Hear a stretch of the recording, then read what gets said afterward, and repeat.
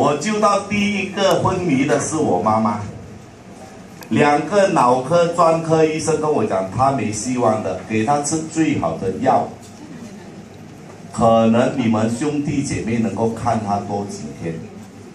我们就从他那个因为昏迷不醒的人，如果不是在鼻子有装一条喉，给你们倒牛奶水、倒粥，就是装在他的胃，对吗？就是从那条喉倒进去。我刚才我妈妈其实哦四天而已哦，一天半包。我当时吃乳定吃了一年还不知道有乙乳没有，所以我讲哦，我接触到成品是偶然的。可是并不是很多人像我运气那么的好，所以当时啊拿到乙醇包什么来的，也不敢给一包，倒半包。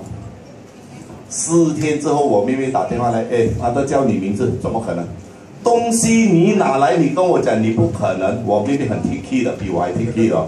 OK，四天而已，我妈妈喝乙酒没有半包就醒了，到今天，到今天，OK。